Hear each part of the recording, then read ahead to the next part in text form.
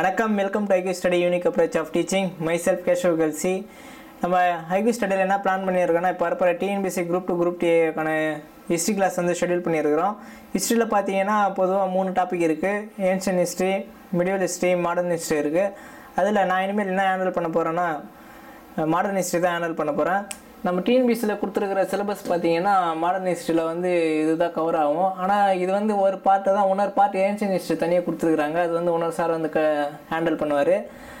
இப்போது இது மட்டுமே டா ஏதாவது சிலபஸில் கொடுத்துருக்குறாங்க இது மட்டுமே படிக்கணும்னு நினச்சிங்கன்னா அது வந்து தப்பு. ஏன்னா இதை தாண்டி நம்ம கொஷின்ஸ் வந்து வரும். எல்லாமே எல்லாமே தான் படிக்கணும். இதில் இருக்கிற டாபிக்ஸும் வந்து நாங்கள் வந்து வர கிளாஸில் வந்து கவர் பண்ணுவோம். அதனால் கொஞ்சம் நம்ம சேனலை கொஞ்சம் ஃபாலோ பண்ணிக்கங்க. ஃபஸ்ட்டு நம்ம மாடர்ன் ஹிஸ்ட்ரியில் என்ன பார்க்க போகிறோம்னா நவீன கால இந்திய வரலாறு. இது இந்த டாபிக் தான் பார்க்க போகிறோம் இது வந்து எங்கேருந்து ஸ்டார்ட் ஆகுதுன்னா இந்தியாவிற்கு ஐரோப்பியர்கள் வருகை. அதாவது ஏன் இந்தியாவிற்கு வந்து ஐரோப்பியர்கள் வந்தாங்கன்னா இந்த முகலாயர்கள் மராத்தியர்கள் காலத்திலே வந்து என்ன பண்ணாங்க? இந்தியர்கள் வந்து மேலை நாடுகள் வந்து வணிக தொடர்பு வச்சுருந்தாங்க. அந்த வணிக தொடர்புகளுடைய குறிப்புகளை வந்து இந்த மார்கோ போலோ வெனிச நகரத்தில் இருக்கிற மார்கோ போலோ என்ன பண்ணுறாரு அவர் குறிப்பு வந்து எழுதி வச்சுட்டு போகிறாரு அந்த குறிப்பை அறிஞ்ச ஐரோப்பியர்கள் என்ன பண்ணுறாங்க இந்தியாவுடைய வணிக தொடர்பு செஞ்சுக்கணுன்ற ஒரு நோக்கத்தோடு என்ன பண்ணுறாங்க இந்தியாவுக்கு வராங்க. இப்போ பொதுவாக வந்து இந்த வணிக தொடர்புலாம் ரெண்டு வழியாக நடந்தது. ஒன் பார்ட் வந்து எந்த வழியாக இருந்ததுன்னா லேண்டு இன்னொன்று வந்து கடல் சி ரெண்டு பாட்டாக வந்து நடந்துட்டு இருந்தது. இந்த லேண்ட் வழியாக வந்து எப்படி நடந்ததுன்னா இந்த கான்ஸ்டாண்டில்ன்ற ஒரு வழியாக தான் வந்து ட்ரேட் வந்து நடந்துட்டு நடந்துட்டு இருக்கிறப்போ துருக்கியர்கள் என்ன பண்ணுறாங்கன்னா கான்ஸ்டாண்டினோப்பிளை வந்து கைப்பற்றிடுறாங்க. அதாவது துருக்கியரில் எந்த அரசர்னா முக்கியமாக இஸ்தான்புல்ன்ற அரசர் தான் வந்து என்ன பண்ணுறாரு கான்ஸ்டாண்டினோபிளை வந்து கைப்பற்றுறாரு. எந்த வருஷம்னா ஆயிரத்தி நானூற்றி ஐம்பத்தி மூணு. அந்த வருஷத்தில் வந்து கான்ஸ்டாண்டினோபிளை வந்து கைப்பற்றுவோன்னா என்ன வருது? லேண்ட் வழியாக வந்து ட்ரேட் வந்து நடக்கிறது வந்து தடைப்பட்டுருது.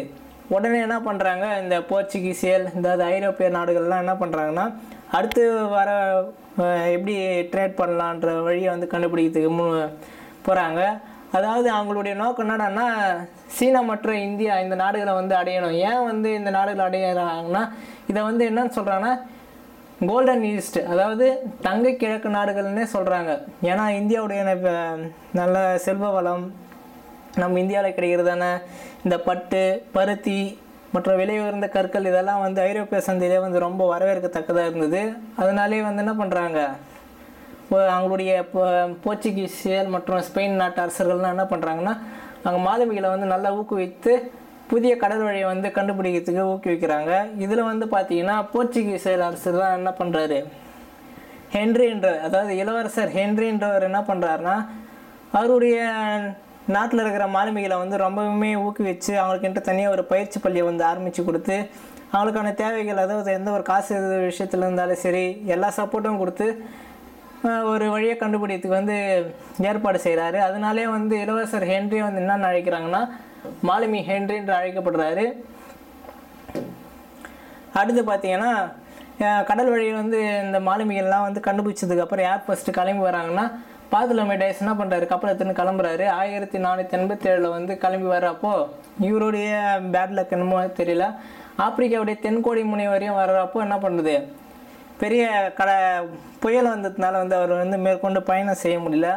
அதனால் என்ன பண்ணுறாரு அங்கேருந்தே திருப்பி அவருடைய சொந்த நாட்டுக்கே போயிடுறாரு ஏன்னா அதுக்கு மேற்கொண்டு பயணம் செஞ்சால் கடல் வந்து கவுந்துரா போல அதாவது ரொம்ப பிரச்சனையாக இருந்ததுனால என்ன பண்ணுறாரு அவருடைய நாட்டுக்கே வந்து திரும்பி போயிடுறாரு இவர் வந்து இவ்வளோ தூரம் பயணம் பண்ணி செஞ்சு வந்தது என்ன ஆகுது? அங்கே இருந்த மாலுமிகளுக்கு வந்து ஒரு நல்ல ஒரு நம்பிக்கை கொடுத்ததுனால இந்த ஆப்பிரிக்காவுடைய தென்கோடி முனியை வந்து என்னன்னு சொல்கிறாங்கன்னா நன்னம்பிக்கை முனின்னே சொல்கிறாங்க அதாவது கேப் ஆஃப் குட் ஓப்னு சொல்லலாம் இங்கிலீஷில். அடுத்து அவருக்கப்புறம் அவருக்கு அப்புறம் யார் வராங்கன்னா வாஸ்கோட காமா. ஃபஸ்ட்டு ஃபஸ்ட்டு இவர் வந்து எந்த இடத்துல வந்து இறங்குறாருன்னா கோழிக்கோடு என்ற ஒரு இடத்துல தான் வந்து இறங்குறாரு. எந்த டேட் இந்த டேட் இம்பார்ட்டன்ட் வாஸ்கோட காமா முதல் முதல்ல வந்து இறங்கி டேட் கேட்பாங்க மே இருபது ஆயிரத்தி நானூற்றி தொண்ணூற்றி எட்டில் தான் வந்து கரையிறங்கினார். அப்போது இது போல் வெளிநாட்டு அரசர்கள் வந்து யாரான நம்ம நாட்டுக்கு வரதா இருந்தால் நம்ம இந்தியாவில் இருக்கிற அரசர்கள்லாம் என்ன பண்ணுவாங்க? வந்து வந்து வரவேற்பாங்க. அப்போது அந்த கோழிக்கோட்டில் இருந்த மன்னர் யாருன்னா சாமரின் அதாவது இந்து மன்னர்னு சொல்லுவாங்க. இந்து மன்னரான சா சாமரின் வந்து என்ன பண்ணுறாரு வாசோடகம் வந்து வர வைக்கிறாரு. அதுக்கப்புறம் ஆயிரத்தி நானூற்றி தொண்ணூற்றி ஒன்பதில் வந்து அவருடைய சொந்த நாட்டுக்கே திரும்பி போயிடுறாரு இந்த நெக்ஸ்ட் வந்து யார் வர்றாருன்னா ஆயிரத்தி ஐநூறில் வந்து பெட்ரோ ஆல்வரஸ் கேப்ரல் என்றவர் வந்து என்ன பண்ணுறாரு திரும்பி கோழிக்கோட்டுக்கு வராரு. இவர் வந்து போகிறப்போ அங்கே இருக்கிற கொஞ்சம் வணிகர்களோட வந்து கொஞ்சம் சண்டையாயிடுது. அதனால என்ன பண்ணுறது இவர் வந்து போயிட்டு பிறகு வாஸ்குடகம் வந்து ரெண்டாவது டைம் வராரு. எப்போ வராருன்னா ஆயிரத்தி ஐநூற்றி ரெண்டு. ஏன்னா கலர் கொஞ்சம் வரல. அதனால் எழுதிருக்கு ஆயிரத்தி ஐநூற்றி ரெண்டில் வந்து என்ன பண்ணுறாரு வாஸ்கோடகாமா வந்து ரெண்டாவது டைம் வராரு. இவர் வர்றப்ப என்ன பண்ணுறாரு இப்போ? வர்த்தக நிலையங்கள்லாம் ஏற்பாடு பண்ணிட்டு போகிறாரு எந்தெந்த இடத்துலனா கோழிக்கோடு கொச்சி கண்ணனூர் இந்த இடத்துலலாம் வந்து வர்த்தக நிலையங்களை நிறுவிட்டு இதோட தலைநகரமாக எது இருக்குன்னா கொச்சி வந்து தலைநகராக இருக்குது நெக்ஸ்ட்டு அதுக்கப்புறமா பிரான்சிஸ் கோடி அல்மேடா வந்து வராரு. இவர் தான் வந்து போர்ச்சுகீசரில் வந்து முன் முன் அதாவது முதல் கவர்னர் யாருன்னு சொல்லணும்னா பிரான் பிரான்சிஸ் கோடி அல்மேடா வந்து சொல்லலாம். இவருடைய ஆட்சிகள் வந்து ஆயிரத்தி ஐநூற்றி அஞ்சுலேருந்து ஆயிரத்தி ஐநூற்றி ஒன்பது வரையும் வந்து வேலை செஞ்சுருக்காரு. இவருடைய காலகட்டத்தில் வந்து நிறைய கோட்டைகள்லாம் கட்டியிருக்காரு. அதாவது எந்தெந்த இடத்துலனா அஞ்சலிவா கண்ணனூர் கொச்சி சில்வா இந்த இடத்துலலாம் வந்து கோட்டைகள்லாம் கட்டியிருக்காரு. ஃபஸ்ட்டு கோட்டையை எங்கே கட்டினாருன்னா ஆயிரத்தி ஐநூற்றி மூணில் கொச்சியில் கட்டியிருக்காரு. இரண்டாவது கோட்டை வந்து ஆயிரத்தி ஐநூற்றி அஞ்சில் வந்து கண்ணனூரில் கட்டியிருக்காரு. இவர் வந்து எந்த கொள்கையை வந்து பின்பற்றினார்னா நீலநீர் கொள்கை ப்ளூ வாட்டர் பாலிசி இந்த கொள்கையை வந்து பின்பற்றினார். இவருக்கு அடுத்து யார் வராங்கன்னா அல்போன்சோடி அல்புக்கார் அதாவது இவரை வந்து என்னன்னு சொல்லலாம்னா போர்ச்சுகீஸருடைய உண்மையான நிறுவனர்னே சொல்லலாம். அதுக்கப்புறம் இவர் வந்து ஆட்சி செஞ்ச வருஷம் பார்த்தீங்கன்னா ஆயிரத்தி ஐநூற்றி ஒன்பதுலேருந்து ஆயிரத்தி ஐநூற்றி பதினஞ்சு வரையும் ஆட்சி செஞ்சுருக்காரு. இவருடைய காலகட்டத்தில் இவர் என்ன பண்ணாருன்னா பிஜப்பூர் சுல்தானிடமிருந்து கோவாவை வந்து கைப்பற்றிருப்பார். ஆயிரத்தி ஐநூற்றி பத்தில். ஏன்னா இந்தியாவில் ஆட்சி செய்கிற அரசர்களெல்லாம் பார்த்துருப்பாங்க. இவங்க ஆட்சி செய்கிற விதம் அதெல்லாம் வந்து பார்த்திங்கன்னா ஒரு திறமையற்றதாகவே இருக்கும். இவங்களுடைய திறமையை காட்டி என்ன பண்ணுவாங்க? ஒவ்வொரு இடமா வந்து இவங்க பக்கமாக கைப்பற்ற ஆரம்பிச்சிருவாங்க. அதுக்கப்புறம் பிஜப்பூர் சுல்தான்கிட்ட வந்து பகையை உண்டாக்கிட்ட பிறகு என்ன பண்ணுவார்? அங்கே விஜய் விஜயநகர பேரரசர் வந்து ஒரு நல்ல ஒரு உறவை வந்து ஸ்ட்ராங் பண்ணிப்பார். அதுக்கப்புறம் மலாக்கா வந்து ஆயிரத்தி தொண்ணூற்றி பதினஞ்சில் வந்து கைப்பற்றுறாரு இப்படியே ஒவ்வொரு இடமா கைப்பற்றிட்டே இருக்கிறப்போ துறைமுகங்கள்லாம் கட்ட ஆரம்பிக்கிறாங்க. அதாவது ஆயிரத்தி தொள்ளாயிரத்தி பதினஞ்சில் வந்து ஆர்மூஸ் என்ற துறைமுகம் வந்து எங்கே கட்டுறாங்கன்னா பாரசீக வளைகுடா என்ற இடத்துல வந்து ஒரு துறைமுகத்தை கட்டுறாரு. இவருடைய ஆட்சி காலத்தில் வந்து பார்த்திங்கன்னா சதி வந்து ஒழிக்கப்பட்டதுன்னே சொல்லலாம். அதாவது சதின்னா என்னடான்னா கணவன் இருந்துட்டா வந்து மனைவி என்ன பண்ணோம்? தானாக தற்கொலை பண்ணிக்கணும். அதை தீ கொளுத்திட்டானா தற்கொலை பண்ணிப்பாங்க. இது போல் தானாக வந்து செஞ்சுட்டு இருந்தாங்க. அதுக்கப்புறம் ஒவ்வொரு காலகட்டத்தில் பார்த்திங்கன்னா அது வந்து வற்புறுத்திப்பட்டு செய்யப்பட்டது. இதை வந்து அந் எப்போது இந்த காலத்தில் நம்ம படிச்சு பா- பா பார்த்தோம்னா ஆயிரத்தி எட்நூற்றி இருபத்தி ஒன்பதில் வந்து நடந்திருக்கும். அதாவது வில்லியம் பெண்டிங் பிரபு காலத்தில் வந்து ஒரு சதி வந்து ஒழிக்கப்பட்டிருக்கும். அதுக்கு வந்து முன்னாடியாகவே எது இருந்ததுன்னா இந்த அல்போன்சோடி அல்பக்கர் காலகட்டத்திலே காலகட்டத்திலே வந்து இந்த சதி ஒழிக்கப்பட்டதுன்னு சொல்கிறாங்க அதுக்கப்புறம் இது ஆயிரத்தி ஐநூற்றி பதினஞ்சில் வந்து இறந்துறாரு. அடுத்து அடுத்து வந்து கவர்னர்லாம் வந்து கொஞ்சம் ரொம்ப இம்பார்ட்டன்ட் கிடையாது. இன்னும் இருந்தாலும் தெரிஞ்சு வச்சுக்கலாம். இந்த இயரை வந்து கொஞ்சம் ஞாபகம் வச்சுங்க நைனோட சுங்கா என்ன பண்ணுறாருன்னா கொச்சியிலிருந்து கோவாவுக்கு வந்து ஹெட் குவார்ட்டர்ஸை மாற்றுறாரு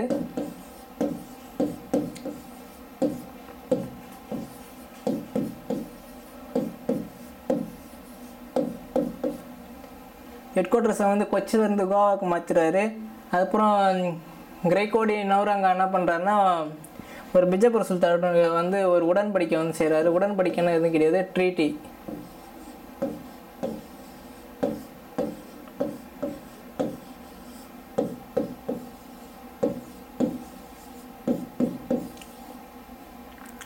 அப்புறம் மார்டின் அல்போன்சோரி சௌசா இவருடைய காலகட்டத்தில் காலகட்டத்தில் வந்து பிரான்சிஸ் சேவியர் என்ற ஒரு மத போதகர் வந்து வராரு. அதுக்கப்புறம் போர்ச்சுகி இப்படியே நல்லா போயிட்டு இருந்த போர்ச்சுகீசர்கள் வந்து வர வர வந்து ரொம்ப டல்லாகிடுது அவங்களுடைய வியாபாரமும் சரி அவங்களுடைய ஆட்சியும் சரி. ஏன்னு பார்த்தீங்கன்னா அடுத்து வந்து ஆங்கிலேயர்கள் வந்து ஆயிரத்தி அறநூற்றி பன்னிரெண்டில் வந்து சூரத்தை வந்து அவங்கக்கிட்ட வந்து விட்டுடுவாங்க. நெக்ஸ்ட் வந்து இந்தியாவில் இருக்கிற அரசர்களில் பார்த்தீங்கன்னா அக்பர் அவருடைய வாரிசுகள்லாம் வந்து தானே ஆட்சி செய்ய வந்துடுவாங்க அதனாலேயும் வந்து இவங்களுடைய இடங்களை வந்து மேற்கொண்டு அவங்க கிட்ட வந்து விட வேண்டிய நிலைமை வந்துடும் அது மட்டும் இல்லாமல் ஒவ்வொரு எதிர்ப்புகளாக இருக்கும் எல்லா இடமும். எல்லா இடத்துலையும். அதுக்கப்புறம் காசிம் கான் என்ன பண்ணுவார்னா ஹூக்கிலிருந்து ஆயிரத்தி அறநூற்றி முப்பத்தி ஒன்றில் வந்து போர்ச்சுகீஸ்லேருந்து வெளியே அனுப்பிச்சிருவாரு. அது மட்டும் இல்லாமல் போர்ச்சுகீஸருடைய லேண்டெல்லாம் எப்படி போகும்னா இரண்டா அவருடைய இரண்டாவது சாரி அவருடைய சகோதரிக்கு வந்து க கல்யாணம் பண்ணி கொடுக்குறப்போ அதாவது யாருக்கு இரண்டாம் சார்லஸுக்கு வந்து கல்யாணம் பண்ணி கொடுக்குறப்போ பம்பாய் வந்து சீதனமாக கொடுத்துருவாரு. இப்படியும் அவருடைய நிலம் வந்து கொஞ்சம் கொஞ்சமாக குறைஞ்சிட்டே வரும். அது எந்த வருஷம்னு பார்த்துங்க? ஆயிரத்தி அறநூற்றி அறுபத்தி ஒன்றில் வந்து நடக்குது. அதுக்கப்புறம் மராத்தியர்கள் என்ன பண்ணுறாங்கன்னா சால்செட் மற்றும் பசைன் இந்த இடத்துல இந்த இடங்களையும் வந்து கைப்பற்றிடுறாங்க. ஆயிரத்தி எண்ணூற்றி முப்பத்தி ஒன்பதில் நடக்குது இது.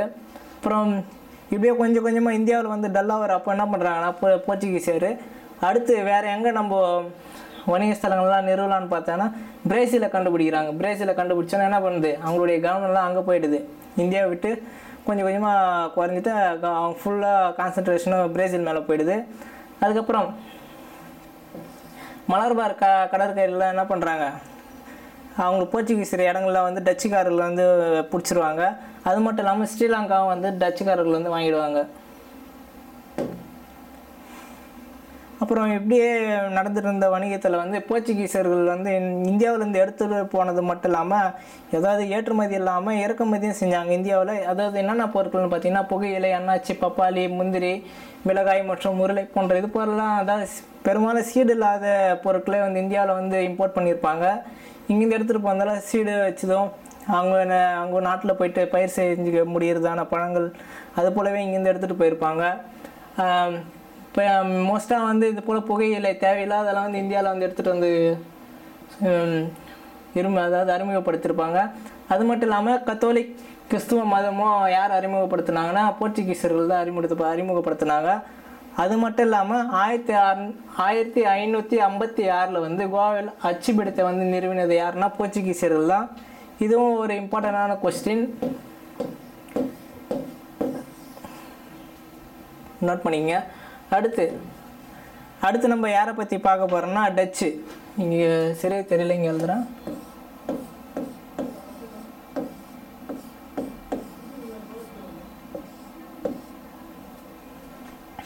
போர்ச்சுகீசியர்களுக்கு அப்புறம் வந்து யார் வராங்கன்னா டச்சு வராங்க. அதாவது கிபி ஆயிரத்தி அறநூற்றி அறுபத்தி அறுநூற்றி ஒன்றில் வந்து நெதர்லாந்து ஒருங்கிணைந்த கிழக்கிந்திய கம்பெனியை வந்து நிறுவுறாங்க. அதுக்கு எங்கே எங்கன்னா ஹாலந்தில் வந்து ஸ்டார்ட் பண்ணுறாங்க அதுக்கப்புறம் இந்தியன சத்திவுகளில் வந்து அங்கே பண்டகச்சாலைகள்லாம் அமைக்கிறாங்க. அதுக்கப்புறம் தான் அவங்க வந்து இந்தியாவை நோக்கி அவங்க கவனத்தை செலுத்தி இந்தியாவில் வந்து ஒன்று என்ன பண்ணுறாங்கன்னா தொழிற்சாலைகளாக கட்ட ஆரம்பிச்சிடுறாங்க. எங்கெங்கெல்லாம் ஃபஸ்ட்டு தொழிற்சாலைகள் கட்டுறாங்கன்னா சாரி ஆயிரத்தி அறநூற்றி அஞ்சில் வந்து மசிலிப்பட்டினத்தில் வந்து ஒரு தொழிற்சாலை கட்டுறாங்க. ரெண்டாவது வந்து முதல் கோட்டையை வந்து எங்கே கட்டுறாங்கன்னா புலிக்காட்டில் ஆயிரத்தி அறநூற்றி ஒன்பதில் கட்டுறாங்க. ரெண்டு சூரத்தில் வந்து சிக்ஸ்டீன் சிக்ஸ்டீனில் கட்டுறாங்க. பிம்லிப்பட்டினம் வந்து சிக்ஸ்டீன் ஃபார்ட்டி ஒனில் கட்டுறாங்க. காரைக்கால் வந்து சிக்ஸ்டீன் ஃபார்ட்டி ஃபைவ்ல கட்டுறாங்க. சின்னசூராவில் வந்து சிக்ஸ்டீன் ஃபிஃப்டி த்ரீல வந்து இது போல் கோட்டைகள்லாம் கட்டுறாங்க. அடுத்து காசிம் பஜார் பாரநாத் பாட்னா பலசூர் இந்த இடத்துலலாம் வந்து எப்போ கைப்பற்றுறாங்கன்னா ஆயிரத்தி அறநூற்றி ஐம்பத்தெட்டில் வந்து கைப்பற்றுறாங்க. அதுக்கப்புறம் நாகப்பட்டினத்தை வந்து ஆயிரத்தி ஐந் ஆயிரத்தி அறநூற்றி ஐம்பத்தெட்டில் வந்து போர்ச்சுகீஸிலிருந்து வாங்குறாங்க. அதாவது சண்டை போட்டு வாங்கிடுவாங்க. இவங்களுடைய டச்சுக்காரருடைய ஃபஸ்ட்டு ஹெட் குவார்ட்டர்ஸ் எதுவாக இருந்ததுன்னா புலிக்காடு தான் இவங்களுடைய ஹெட் குவார்ட்டர்ஸாக இருந்தது. அதுக்கப்புறம் என்ன பண்ணுது? நாகப்பட்டினத்தை கண்டுபிடிச்சோடனே அவங்களுடைய ஹெட் குவார்ட்டர்ஸை வந்து அங்கேயே மாற்றிடுறாங்க இப்படியே நல்லா போயிட்டு இருந்த டச்சுக்காரர்கள் என்ன பண்ணுது? அடுத்து வர ஆங்கிலேயர் கூட வந்து கொஞ்சம் போட்டி ஆகிடுது ஏன்? ஃபஸ்ட்டு எங்கேருந்து இந்த போட்டி வந்து ஸ்டார்ட் பண்ணுறாங்கன்னா ஸ்டார்ட் ஆகுதுன்னா அம்பாயினாவில் வந்து ஒரு சண்டை நடக்குது. அந்த சண்டையில் வந்து என்ன பண்ணுறாங்க டச்சுக்காரர்கள் வந்து ஆங்கிலேயருடைய ஆட்கள்லாம் வந்து கொஞ்சம் பேர் கொலை செஞ்சுருவாங்க. அப்பத்துலேருந்தே வந்து டச்சுக்காரர்களுக்கும் ஆங்கிலேயர்களுக்கும் வந்து ஒரு போட்டியே வந்து ஸ்டார்ட் ஆகிடுது இந்த போட்டியை வந்து வணிகத்துலேயும் வந்து தொடருது. வணிகத்தில் தொடர்ந்தது வந்து ஆட்சியிலையும் வந்து அப்படியே தொடருது. இது போல் வந்து தொடர்ந்து தொடர்ந்துக்கிட்டே இருந்தது வந்து ஆங்கிலேயர்கள் வந்து பதினேழாவது நூற்றாண்டில் வந்து ஒரு சக்தி வாய்ந்த ஒரு ஆதிக்கமாக வந்து மாறிடுறாங்க. டச்சுக்காரர்கள் வந்து முழுமையாக வந்து ஆங்கிலேயர்கிட்ட எந்த யுத்தத்தில் வந்து தோக்குறாங்க பார்த்தீங்கன்னா பெடாரா என்ற யுத்தத்தில் தான் வந்து தோத்துறாங்க அந்த இயர் ரொம்ப இம்பார்ட்டன்ட் செவன்டீன் ஃபிஃப்டி நைன் இந்த இயரில் வந்து பெடாரா என்ற யுத்தத்தில் வந்து ஆங்கிலேயர்கிட்ட வந்து டச்சுக்காரர்கள் ஃபுல்லாக தோ தோத்துறாங்க அது மட்டும் இல்லாமல் டச்சுக்காரர்கள் வந்து ஆங்கிலேயர்களிடம் வந்து எத்தனை நாள் போ போ சண்டை போட்டாங்கன்னா அறுபதுலேருந்து எழுபது ஆண்டுகள் வரையும் ஆங்கிலேயர்கிட்ட வந்து சண்டை போட்டு கடைசியாக வந்து கம்ப்ளீட்டாக பதினொன் பதினெட்டாவது நூற்றாண்டில் வந்து ஃபுல்லாக வந்து டச்சுக்காரர்கள் போயிடுறாங்க. அடுத்து டச்சில் வந்து முக்கியமான கவர்னர் ஜெனரல்ஸ் யாருன்னு பார்த்தீங்கன்னா ஹென்ரி ப்ரூவர். இவர் வந்து என்ன என்ன பண்ணார்னா பட்டாவையை வந்து ஆயிரத்தி அறநூற்றி பதினொன்பதில் வந்து கைப்பற்றிருப்பார். கோவா வந்து எப்போ ஆயிரத்தி அறநூற்றி முப்பத்தி ஒன்பதில் வந்து முற்றுகையிட்டிருப்பார். மலாக்காவை வந்து ஆயிரத்தி அறநூற்றி நாற்பத்தி ஒன்றில் வந்து முற்றுகையிட்டிருப்பார். வான்ரைட்ன்றவர் என்ன பண்ணியிருப்பாருன்னா அதான் ஆல்ரெடி பார்த்தோம். நாகப்பட்டினத்தை கைப்பற்றணும்னு என்ன பண்ணாங்க? டச்சு வந்து அதாவது சாரி இந்த புலிக்காட் புலிக்காட்னா எதுவும் கிடையாது பழவேற்காடுன்னு சொல்லுவோம் இப்போது அங்கேருந்து ஹெட் குவார்ட்டர்ஸை வந்து நாகப்பட்டினத்துக்கு வந்து மாற்றிருப்பார் வான்கோனஸ் இவர் என்ன பண்ணுறாருன்னா ஆரஞ்சில் வந்து ஒரு புதிய கோட்டையை வந்து கட்டுறாரு. எதுவும் ஒரு இம்பார்ட்டண்டான ஒரு கொஸ்டின் என்ன வச்சுங்க ஆரஞ்சில் இப்போ கோட்டையை கட்டின அதாவது புதிய கோட்டையை வந்து யார் கட்டினான்னு கேட்டாங்கன்னா வான்கோனஸ் என்ற கவர்னர் ஜெனரல் தான் கட்டினாரு. அடுத்து அடுத்து யார் வராங்கன்னா ஆங்கிலேயர்கள். கிபி ஆயிரத்தி அறநூற்றி சாரி ஆயிரத்தி ஐநூற்றி தொண்ணூற்றி ஒன்பதுன்னு கொடுத்துருப்பாங்க. ஒன்றுத்துல வந்து ஆயிரத்தி அறநூறுன்னு கொடுத்துருப்பாங்க.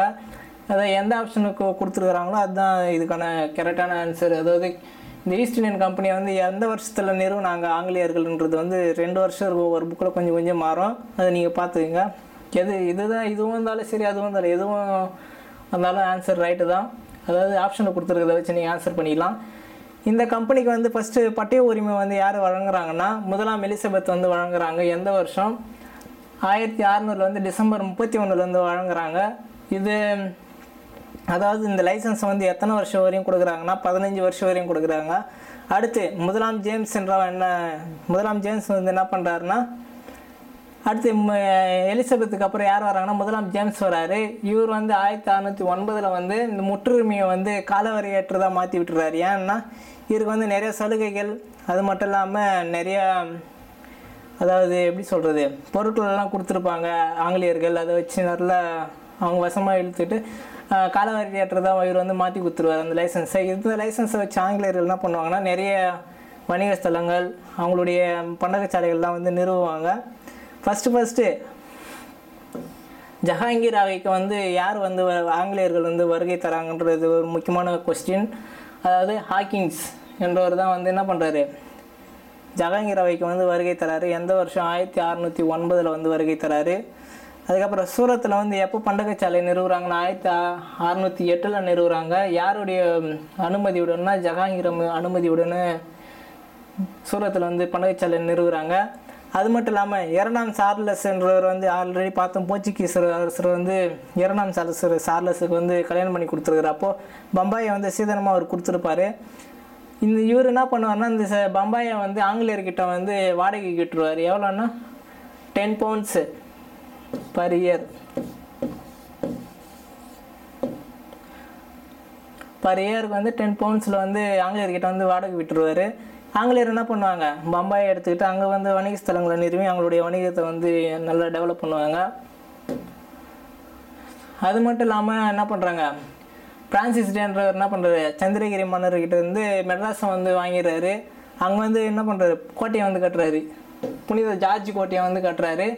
அங்கே வந்து ஃபஸ்ட்டு ஃபஸ்ட்டு யார் வேலை செஞ்சாங்கன்னா அதாவது பணியாற்றினாங்கன்னா ஜெரால்டு ஹ அகுயர் முதல் கவர்னராக வந்து புனித ஜார்ஜ் கோட்டையில் வந்து வேலை செஞ்சுருக்கிறாரு. எந்த வருஷம்னு பாருங்கள் ஆயிரத்தி அறநூற்றி ஒன்பதுலேருந்து ஆயிரத்தி அறநூற்றி எழுபத்தி ஏழு வரையும். அதுக்கப்புறம் ஆயிரத்தி அறநூற்றி தொண்ணூறில் வந்து ஜாப்ஷர் நுக்கினால் வந்து சுதாநிதியில் வந்து ஒரு பண்டகச்சாலை நிறுவுறாங்க.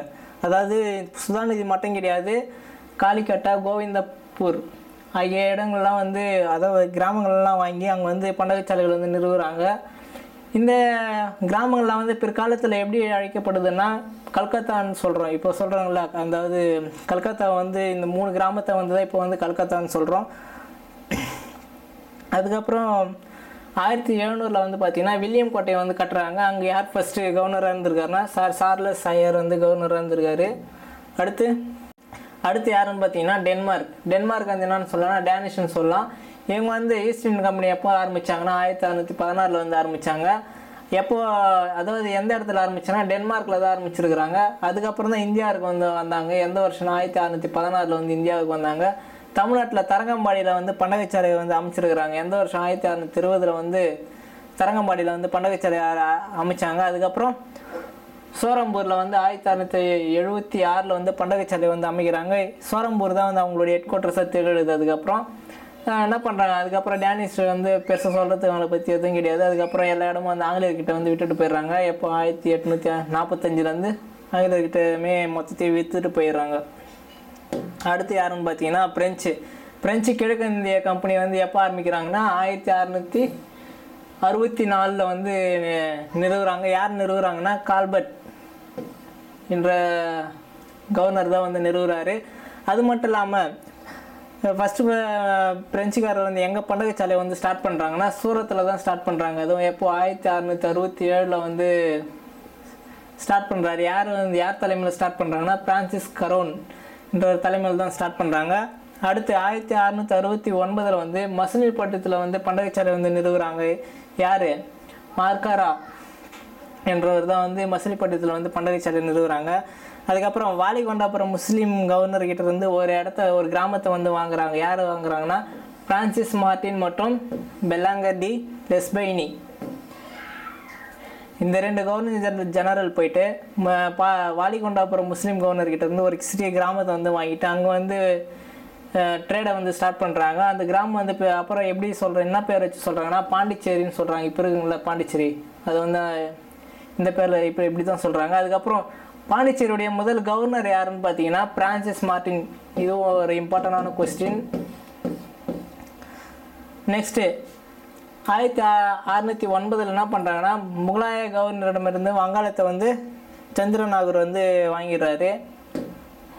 அடுத்து மாகியம் வந்து யார் கைப்ப எப்போ கைப்பற்றுறாங்கன்னா ஆயிரத்தி எழுநூற்றி இருபத்தஞ்சு அதே வருஷத்தில் யாமனியும் வந்து கைப்பற்றுவாங்க. காரைக்காலை வந்து எப்போ கைப்பற்றுறாங்கன்னா ஆயிரத்தி எழுநூற்றி முப்பத்தி ஒன்பது. அதுக்கப்புறம் ஆயிரத்தி எழுநூற்றி நாற்பத்தி ரெண்டில் வந்து தான் டியூப்ளியஸ்ன்றவர் வந்து பிரெஞ்சு கவர்னராக வந்து வருகை புரிவார். அதாவது வருகை புரிவார் வருகை புரிவார். இவர் வந்து என்ன பண்ணுவார்னா அடுத்து பாண்டிச்சேரியுடைய கவர்னராக வருவார். அவருடைய காலகட்டத்தில் தான் வந்து கர்நாடிக் ஸ்வாரெல்லாம் ஸ்டார்ட் ஆகும். நெக்ஸ்ட் கிளாஸில் வந்து கர்நாடிக் ஸ்வாரத்தை ஆரங்களை பற்றி பார்க்கலாம்.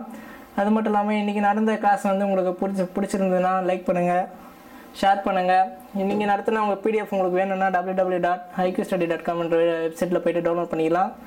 Okay thank you